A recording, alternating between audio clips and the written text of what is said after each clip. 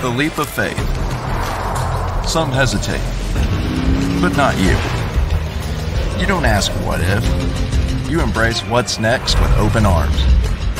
You don't question your decision. You double down.